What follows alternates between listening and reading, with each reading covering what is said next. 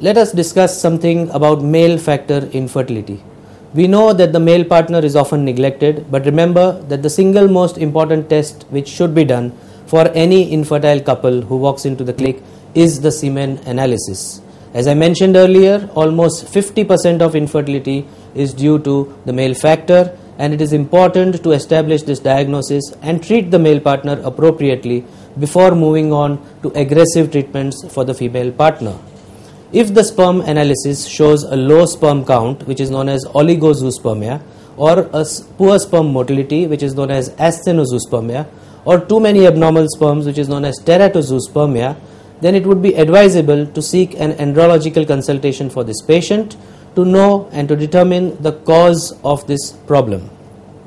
Also, the tests which would usually be required for the male partner besides the sperm analysis would be a hormone estimations in some cases which would be an estimation of serum testosterone, serum prolactin, sometimes serum FSH and LH. In addition, you might want to diagnose what is known as a varicocele, where the vessels in the scrotum become thick and enlarged and dilated, bringing a rush of warm blood into the testicles, thereby damaging the sperm quality. This can easily be done with a scrotal color Doppler.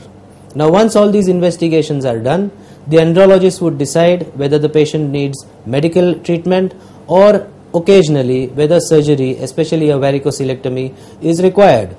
Remember, not all varicoceles require surgery and be sure to take a proper opinion as to whether you are likely to benefit with surgery or not.